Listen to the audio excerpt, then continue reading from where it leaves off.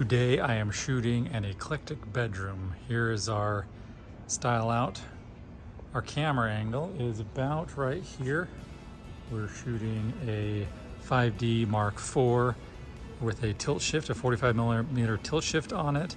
The reason I'm doing a tilt shift is because I want the um, camera to be about here and then I'm scooting the lens back a little bit so I can get some of the side of this window here but then I'll have the main focus of the room scooted over to the camera right.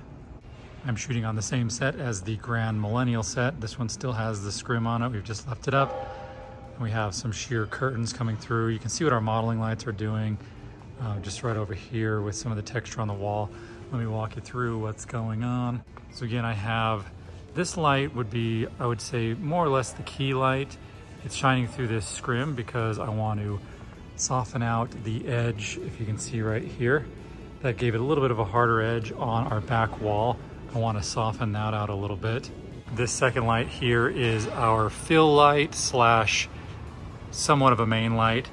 Um, and the reason for that or how that's working is um, I have this pointed in such a way where some of the light will bleed through, some of the actual hard light will bleed through here and shine on the back wall and that's what's causing uh, some of that texture you can see.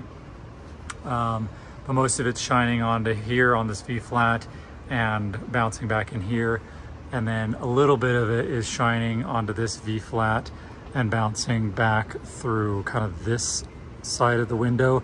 There's this kind of wall here that's blocking off a little bit more light uh, than I'd like, but that's what we have to work with. So I do like Profoto lights, but I wish there were and I know you can get the cap that'll uh, make it a hemispherical, but I wish the bulb was protruding because if the bulb were protruding here, we could actually have a lot of the light bouncing off of here, wrapping around, bouncing off of here, and wrapping even further to this side of the V-flat and bouncing off of here and going through this window. But as it stands, Profotos just have the flat, um, flat face light head. I have a third light here. It's another Profoto D2. It's all I'm using on these sets. Pretty much all the studio has.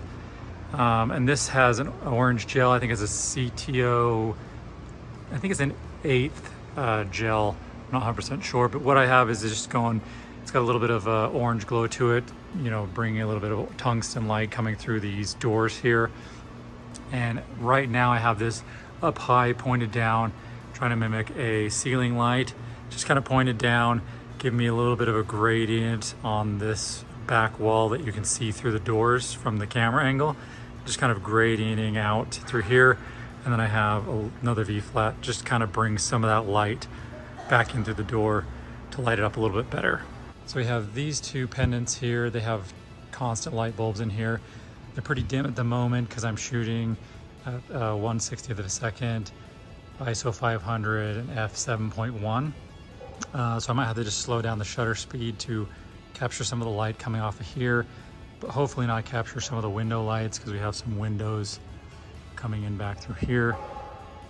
So we'll play around with that a little bit. So we did end up putting brighter bulbs in the pendants, so they ended up showing better in the final edit. So this is the final. If you guys have any questions, leave in the comments field.